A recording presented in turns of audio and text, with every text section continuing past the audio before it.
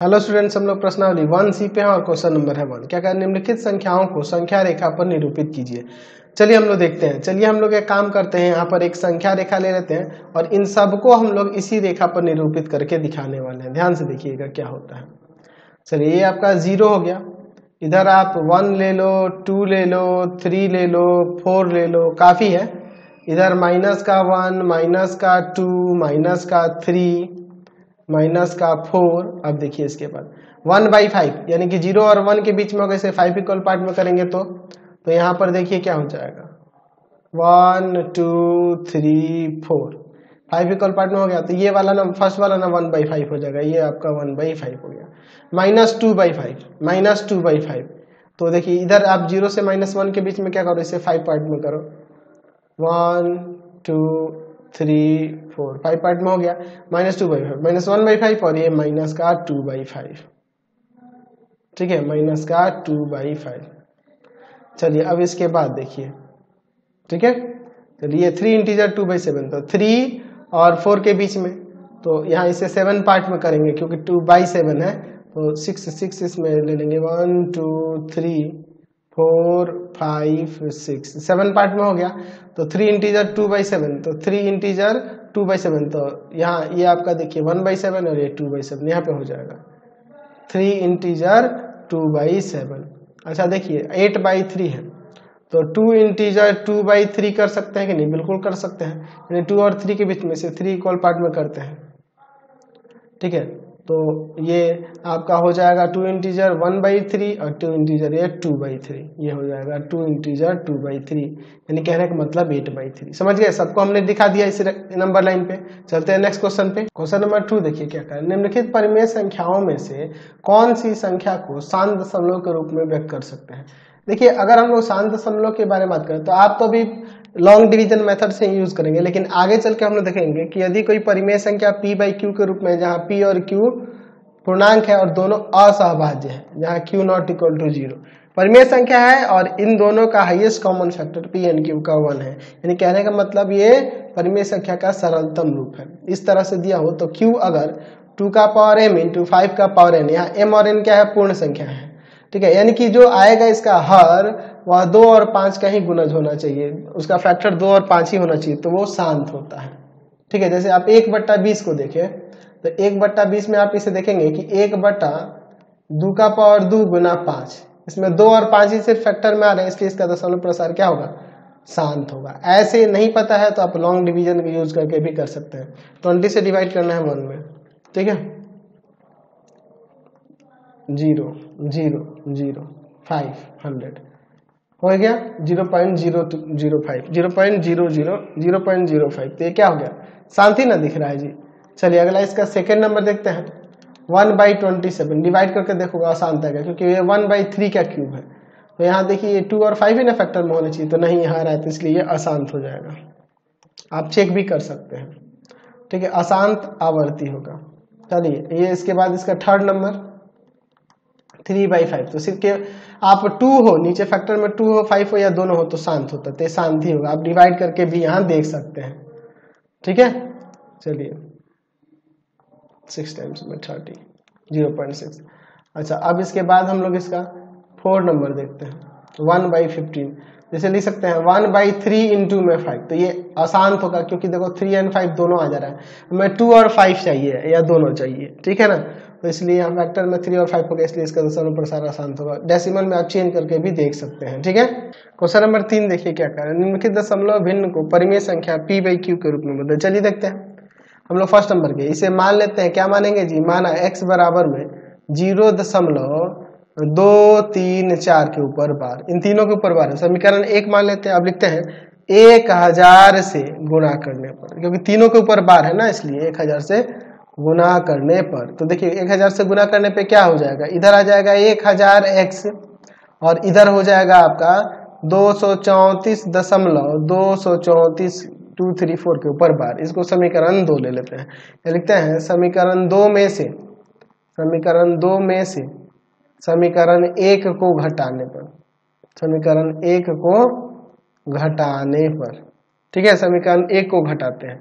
तो क्या हो जाएगा? घटाएँगे तो एक हज़ार एक्स माइनस का एक्स इक्वल टू में दो सौ चौंतीस दशमलव दो तीन चार के ऊपर बार माइनस का ज़ीरो दशमलव दो तीन चार के ऊपर बार। अब देखिए यहाँ पे नौ सौ निन्यानवे एक्स हो जाना है और इधर हो जाएगा आपका टू थर्टी फोर इसको डिवाइड में ले जाएँगे। एक्स इक्वल टू में दो सौ चौंतीस बट्टा में नौ सौ निन्यानवे। इसका मान आ जाएगा। समझ गया? चलते हैं नेक्स्ट क्वेश्चन पे इसमें। चलिए, अब इसका हम लोग सेकेंड नंबर देखते हैं। सेकेंड नंबर में देखिए।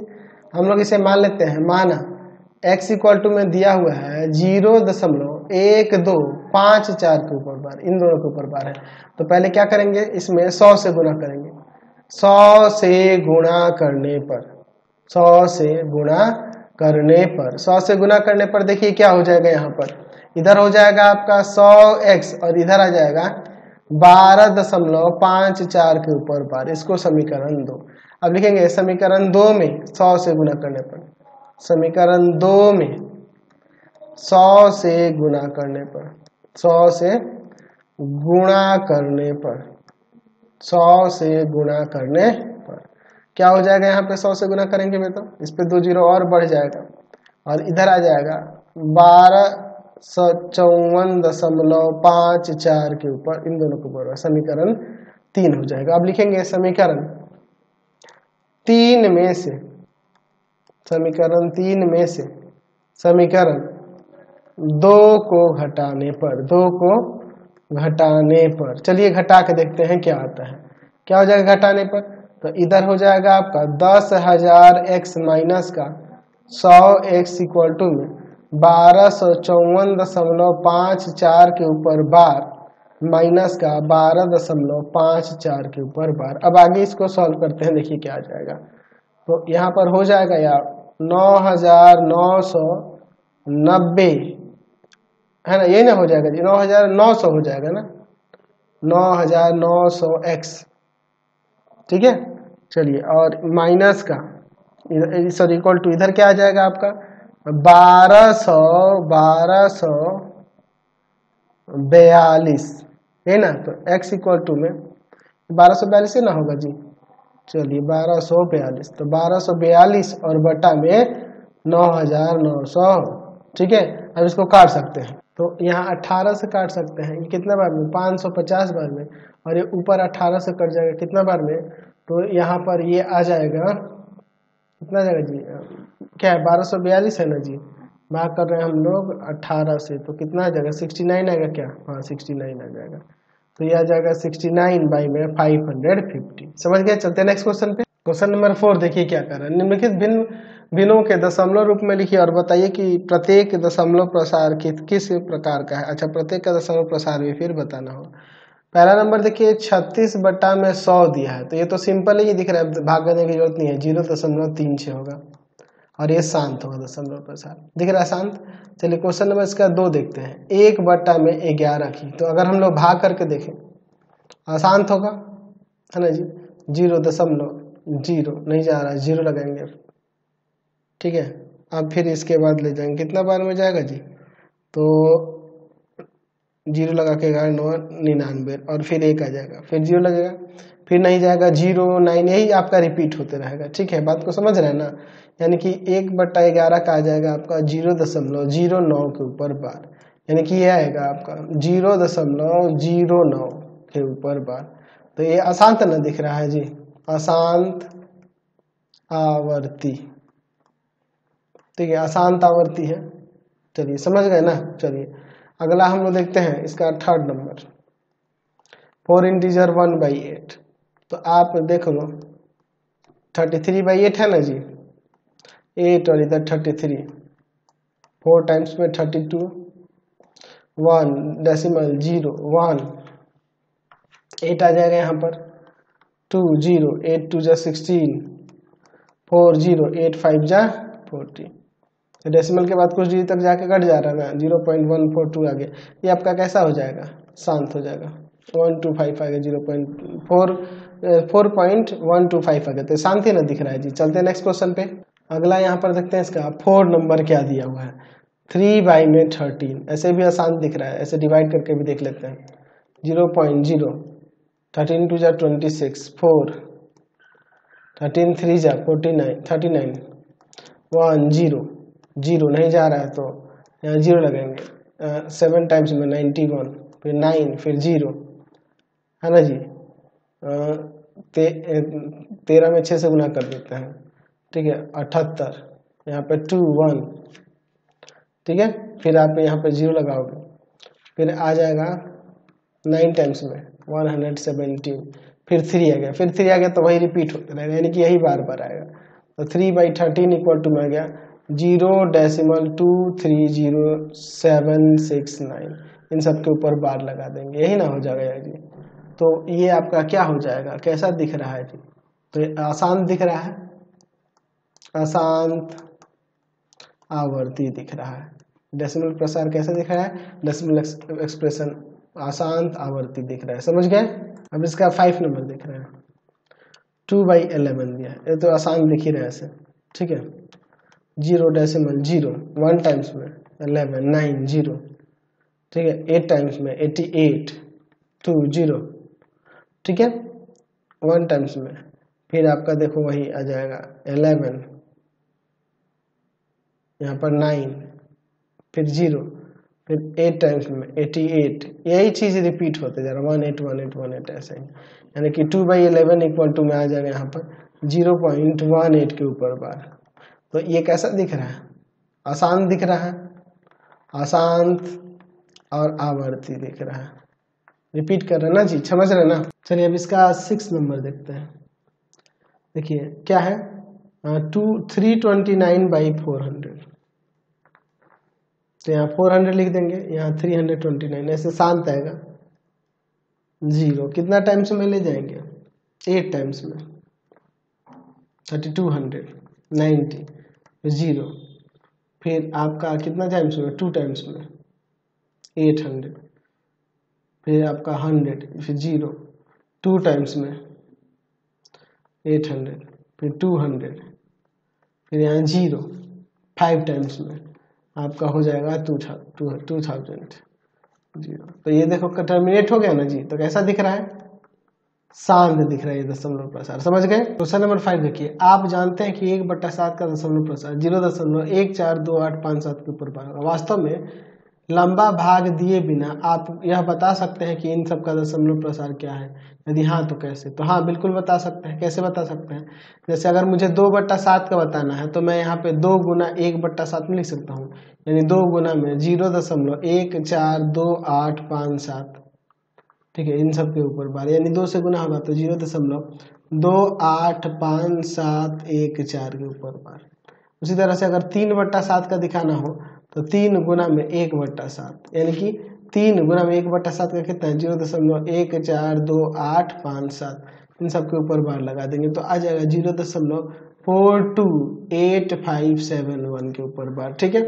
अगर हम लोग फोर बाई सेवन की बात करें, यहाँ पे फोर इंटू में वन बाई सेवन, ऐसे कर सकते हैं। फोर इंटू में वन वन बाई सेवन, यानी कि ज़ीरो दशमलव एक चार दो आठ पाँच सात, इस सब के ऊपर बार। तो यहाँ से इसमें गुना कर देंगे। तो यहाँ पर आ जाएगा ज़ीरो दशमलव पाँच सात एक चार दो आठ। ठीक इन सब के ऊपर बार इसी तरह से अगर हम लोग बात करेंगे पाँच बाई सात की तो हो जाएगा पाँच गुना में एक बट्टा सात। यानी कि पाँच और गुना में एक बट्टा सात का मान कितना है? तो वही ज़ीरो दशमलव एक चार दो आठ पाँच सात के ऊपर बार तो पाँच से यहाँ गुना करने पर कितना आ जाएगा? पाँच से गुना करने पर यहाँ आ जाएगा ज़ीरो दशमलव सात एक चार दो आठ पाँच के ऊपर बार। उसी तरह से छः बट्टा सात के लिए बात करेंगे। तो हो जाएगा छः गुना में एक बट्टा सात। यानी छः गुना में एक बट्टा सात का मान कितना है? एक बट्टा सात का मान वही ज़ीरो दशमलव एक चार दो आठ पाँच सात के ऊपर बार। यानी आ जाएगा यहाँ पर ज़ीरो दशमलव आठ पाँच सात एक चार दो के ऊपर बार ये आपका आंसर हो जाएगा। समझ गए? क्वेश्चन नंबर सिक्स देखिए क्या कर रहा है। निम्नलिखित को पी बाई क्यू के रूप में व्यक्त कीजिए, जहाँ पी और क्यू पूर्णांक है तथा q not equal to zero चलिए इन्हें पी बाई क्यू के रूप में बदला है, इन परिमेय संख्याओं को। ज़ीरो दशमलव सिक्स के ऊपर बार है तो हम लोग इसे क्या कर लेंगे? माना एक्स इक्वल टू में ले लेंगे ज़ीरो दशमलव सिक्स के ऊपर बार इसे समीकरण एक मान लेते हैं और लिखते हैं, दस से गुना करने पर। दस से दोनों तरफ़ गुना कर देते हैं। दस से गुना करने तो आ जाएगा दस एक्स इक्वल टू में सिक्स दशमलव सिक्स के ऊपर बार। ये समीकरण दो हो गया। अब क्या करते हैं? लिखते हैं समीकरण। दो में से समीकरण एक को घटाने पर। ठीक है? घटाने पर। तो इधर हो जाएगा दस एक्स माइनस का एक्स और इधर हो जाएगा छः दशमलव छः के ऊपर बार माइनस का ज़ीरो दशमलव छः के ऊपर बार। तो इधर नौ एक्स हो जाएगा और इधर आ जाएगा छः यानी कि एक्स बराबर में हम लोग लिख सकते हैं छः बट्टा में नौ। तो दो टाइम्स में, ये थ्री टाइम्स में, यानी कि टू बाई थ्री आपका आंसर आ गया। समझ गए? चलिए अब इसका टू नंबर देखते हैं। टू नंबर में हम लोग इसे भी मान लेते हैं। माना एक्स बराबर में ज़ीरो दशमलव फोर सेवन के ऊपर बार इसे समीकरण एक ले लेते हैं। लिखते हैं दोनों तरफ़ दस से गुना करने पर। दोनों तरफ़ दस से गुणा करने पर, गुणा करने पर। तो इधर हो जाएगा दस एक्स और इधर आ जाएगा फोर पॉइंट सेवन के ऊपर बार। ये समीकरण दो। दशमलव के बाद दोनों में एक समान नहीं है, इसलिए फिर से इसमें गुना करेंगे। आपको होगा कि सर फोर कहाँ गया? फोर इधर आ गया, क्योंकि उसके ऊपर बार नहीं था ना, इसलिए उधर हम लोग नहीं लिख पाए। अब लिखते हैं दो। समीकरण एक, समीकरण दो में, समीकरण दो में दोनों तरफ़ दोनों तरफ़ दस से गुणा करने पर। दस से गुणा करने पर।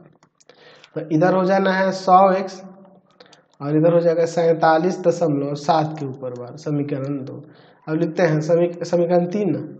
समीकरण तीन में से, समीकरण तीन में से, समीकरण तीन में से, समीकरण दो को घटाने पर, समीकरण दो को घटाने पर।